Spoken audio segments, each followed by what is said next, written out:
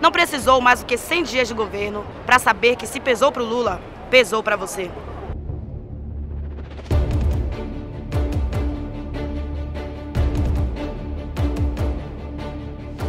Uma patrulha do Exército atira 80 vezes contra o carro de uma família no Rio e mata um trabalhador negro na frente de sua mulher e seu filho de 7 anos. Bolsonaro nega a responsabilidade do Exército e o ministro Moro passa o pano e naturaliza a barbárie. Lamentavelmente, esses fatos podem acontecer. Moro, que mandou prender Lula sem provas e o tirou da eleição, compartilha da cartilha da violência que seu chefe estimula. O ministro é autor de um pacote anticrime que isenta de culpa os agentes públicos de segurança que matarem sob forte emoção. Nós não precisamos criar a excluir de licitude, nós temos que acabar com ela. Enquanto o presidente expõe o país a vexame internacional, congela gastos sociais e tira da educação quase 6 bilhões de reais, o povo enfrenta sozinho o desemprego. Já são mais de 13 milhões de desempregados, segundo o IBGE. A inflação subiu 0,43% em fevereiro para 0,75% em março, a maior taxa para o mês desde 2015. E sabe a política de reajuste do salário mínimo que Lula colocou em lei para garantir sempre um aumento por ano? Bolsonaro suspendeu.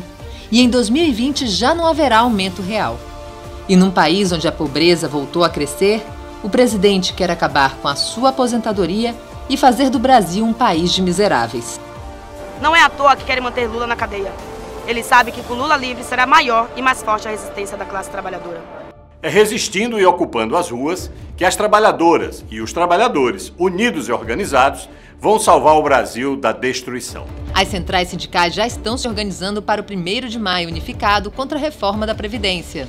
Eles querem acabar com a solidariedade, com a seguridade, com a aposentadoria e transformar num fundo privado para ser vendido pelos bancos numa poupança individual. Poupança individual essa que os trabalhadores não têm condição nenhuma de fazer Sim, em 2019 a população está diante de um grave desafio que é combater a reforma da Previdência. Por isso, as centrais sindicais e os movimentos populares estão organizando um 1 de maio histórico, unificado em todo o país. O 1 de maio unitário das centrais sindicais é a voz da defesa da democracia, da soberania e da liberdade. É muito imperativo que a classe trabalhadora possa ganhar as ruas e levantar em alto e bom som. Lula livre! Vamos à luta até a vitória. O filósofo Noam Chomsky comparou as prisões políticas de Lula e de Julian Assange e apontou a motivação. Assange is a similar case. We've got to silence this voice. Mas você sabe por que prenderam Assange e por que Lula o chamou de herói do nosso tempo? Assange, por meio do Wikileaks, publicou documentos comprovando que militares norte-americanos torturaram e assassinaram civis no Iraque e no Afeganistão. E o que movia os Estados Unidos? Petróleo. Foi pelo mesmo motivo que o governo norte-americano espionou a Petrobras. Com a ajuda da Operação Lava Jato e dos Estados Unidos, as empresas estrangeiras estão tomando conta do pré-sal, uma enorme riqueza descoberta durante o governo Lula. Lula queria destinar parte dos recursos do pré-sal para a educação e saúde do povo. Entenderam por que Assange e Lula estão presos? Por isso, não tem arrego. Tem de resistir e protestar. Como essa galera que foi para a maior rodoviária do país fazer um flash mob Lula livre.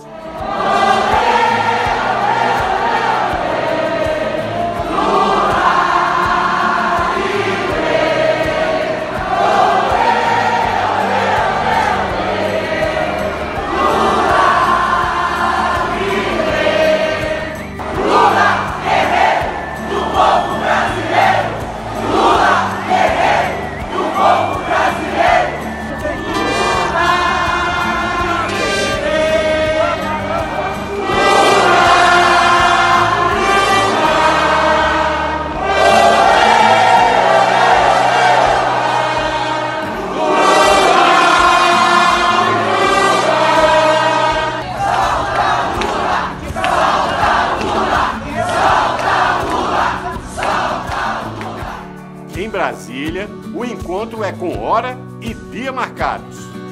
Quarta-feira é dia de luta, é dia de Lula livre.